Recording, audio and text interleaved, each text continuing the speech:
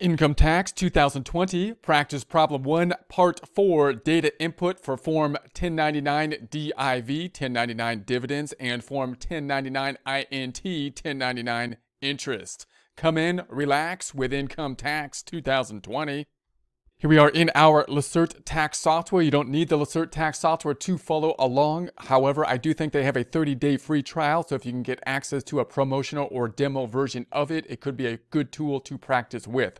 We're going to be continuing on with our practice problem recap of what has happened in the prior presentations, which if you have not seen, you might want to go back and take a look at that, but we'll just do a recap here and we're going to move on then to the dividends and the interest. Our goal to basically put all this information that we kind of focused in on individually into one tax return so we can see how the com compilation of all the stuff together can complicate things a bit and how to deal with that uh, all the forms at one time.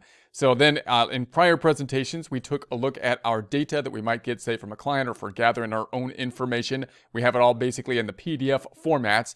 We then sorted it in our Adobe Reader in the format that we believe will be uh, the best way to enter the data. We already entered the W-2 information, and then so that is no longer up here. And that W-2 information was something that we then used to populate some of the starting point of the tax return, including like uh, the social security number and the address if we did not have that.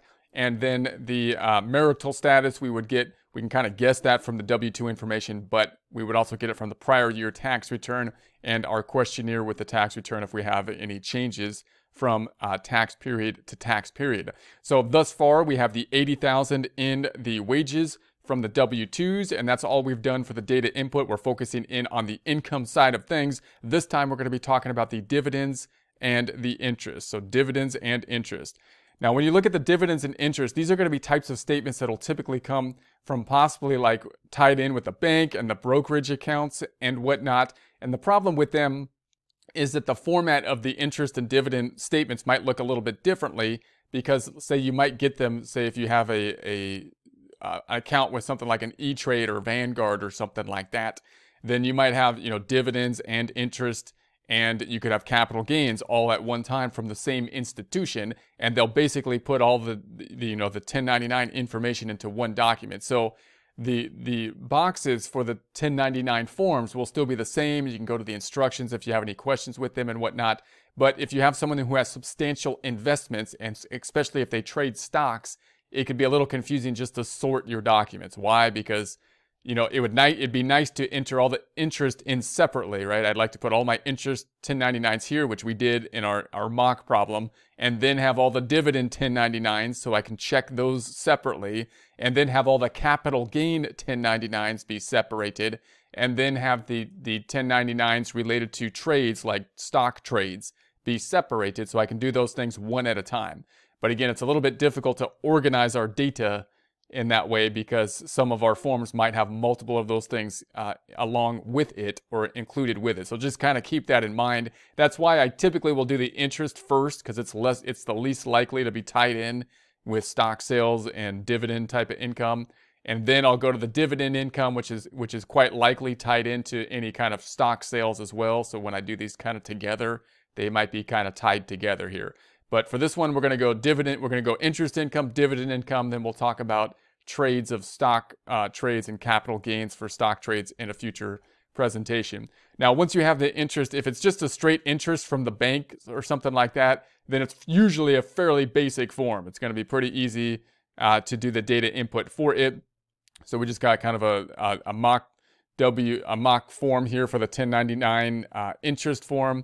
And in box one, we have the interest here. Now it gets a little bit more confusing if you got something in, say, uh, interest that's non-taxable or, or uh, tax exempt interest that we have down here, but still fairly easy to, uh, to set up for that. So we're gonna just do the data input. So let's go back on over. I'm gonna go into the forms. I'm gonna go interest. So now we want interest income. And I think we just called it bank one. So bank one and then we have this, whether it be the taxpayer or the spouse. So I think this first one was the taxpayer. So I'm going to assign it out to the to the proper person here. And then we're going to say that the it was 670 for box one. So 670 for box one. And then we had tax exempt down here in box 8 for the 150. So that's going to be the 150. So tax exempt interest, I'm going to put the 150 here. Now, if I if I pull this over, then I'm going to bring that on over to the forms and see what we have then. We've got now the 80,000 plus now the 670. We don't have a separate schedule, which would be then the schedule B. I mean, you can you could find it here in the software. There it is. But it's not something that's mandatory at this point in time because uh, we're not over the threshold, which I believe is 1,500. So we just have this worksheet here telling us the added information. So there's the added information.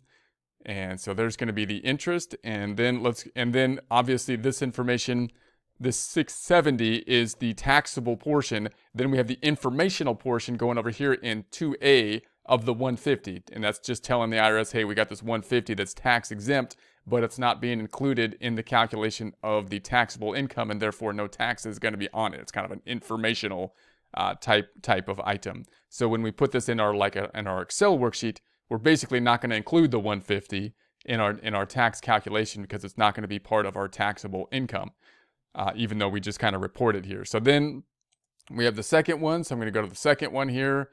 So the we had the bank interest. So I'm just going to, this was bank two. So we're going to say, all right, let's go back on over to bank two. We'll go to our data input and say we add another one. And this is going to be bank number two. And it was for, this is for the spouse. Uh, so I'm to assign that out like we're properly supposed to. And then that's going to be 710. So I'm going to say 710 for that one. And we don't have any uh, other other interest. So we're just taking that from box one, nothing else down here. So that looks good. And so I'm going to say okay and pull that back on over. So now we have the uh, 1,380. We still don't have enough to be, be needing the Schedule B. It's going to be in this worksheet with the two items here.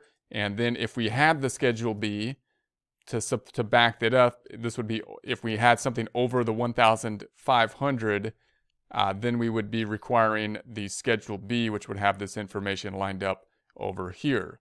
And so I'm going to go back to the 1040. I'm just going to show the forms that we need. So that's going to be that fairly straightforward on the interest. And then we're going to go to the dividends. So again, the dividends might be coming from your broker and they might not look exactly like this, but the boxes will still line up. And if you have questions on a particular box, then you can, uh, you know, go to the instructions. And if they don't have the instructions in the forms provided to you by like the client, then you can look them up on the IRS website. Just look up this form, scroll down till you get to the instructions on the form, and it'll give you the box by box, blow by blow instructions. Okay, so then we're going to go to the dividends. So dividends, so I'm going to go back on over. Going to go to income. I'm going to say now we want the dividends.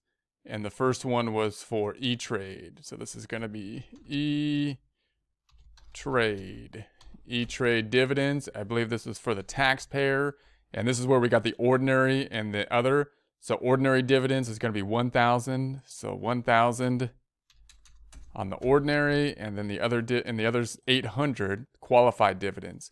So that doesn't mean that we have uh, 1,800 dividends. That means we have of the 1,000 dividends, we have 800 that are qualified and therefore it could have a preferential tax rate other than the ordinary income tax rate. That's why that's the case. Now, then we also have this kind of confusing thing down here where it's got a total capital gain distribution.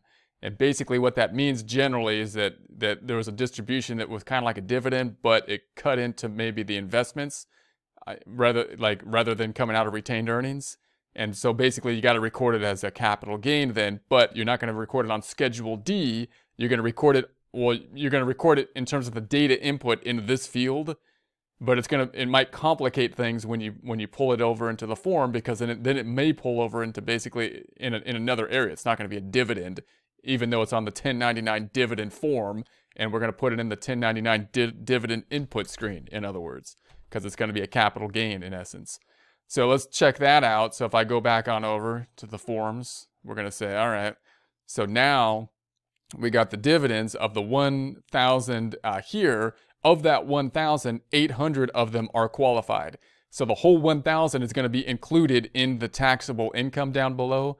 But then when we apply the tax, uh, calculating the tax, we actually have to do a separate tax calculation other than the progressive tax rate on the 800 because it's going to be not taxed at the at the same progressive rate but a different progressive rate because it, they're qualified dividends. So again, the tax calculation has now become more complex. We want to be able to explain that to a client, but we probably aren't going to do the tax calculation to kind of double check it. I'm going to depend on this on the software in essence to do that calcul that calculation in the progressive tax calculation. So uh, we'll see, we'll see that shortly. So then we got the E-Trade. There's the 1,000. We we would then this would also be supported by the Schedule B, but it's not being done thus far because once again we don't have. So the second part of Schedule B here's E-Trade.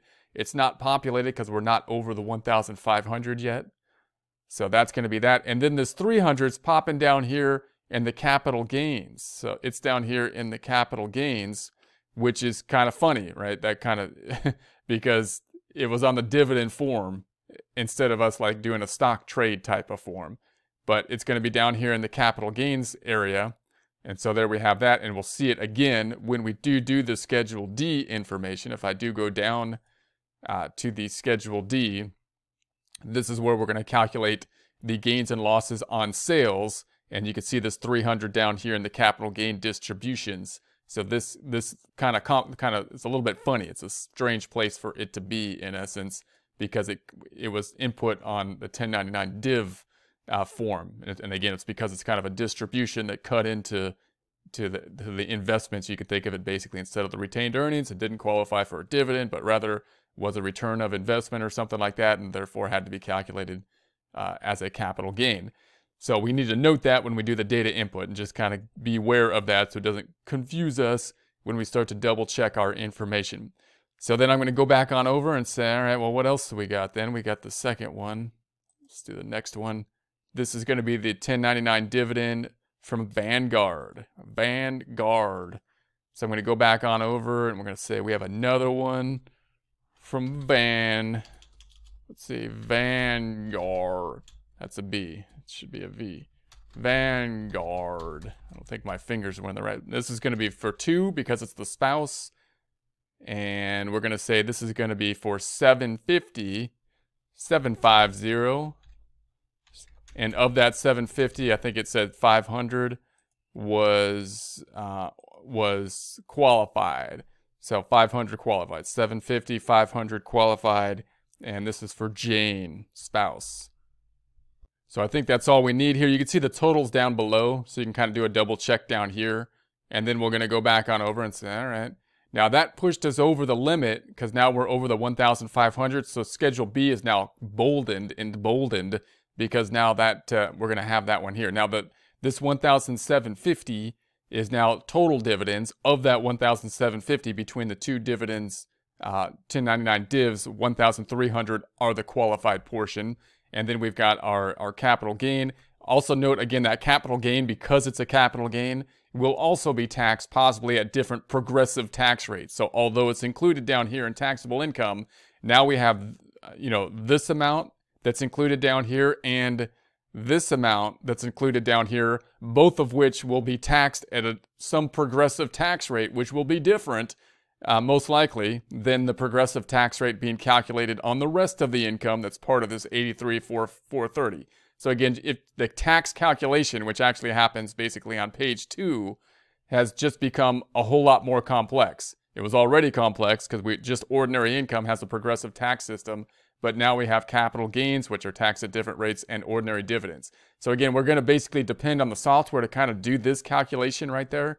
But when you when you talk to clients and stuff, and they're like, "Well, why does it even matter that you have this over here and this capital gains?" And it's because, well, there are different tax rates that are going to be applied to it. You're getting favorable tax rates typically for capital gains, usually, and if it's long term, and the qualified dividends, and that's all being done, you know, here when when you do the calc when you do the tax calculation on that. We're kind of dependent on the software to do that to do that calculation.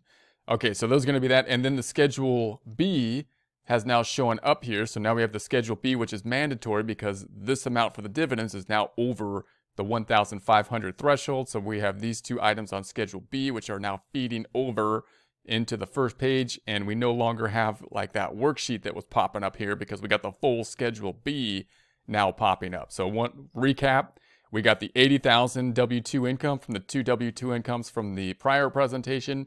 We've got the uh, the interest of the 1,380. Then 150 of the, uh, of interest was was uh, tax exempt.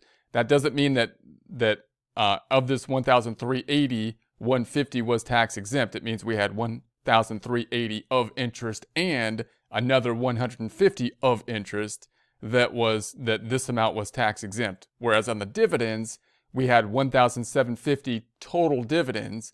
And for this one, we're saying 1,300 of those dividends were qualified dividends and therefore possibly taxable at a, at a favorable rate. We've got the 300 capital gains, which will possibly which will probably be taxable at a favorable capital gains rate. That gives us our total income of the 83,430, and that pulls down to the uh, adjusted gross income because there's no above the line adjustments of the 83,430.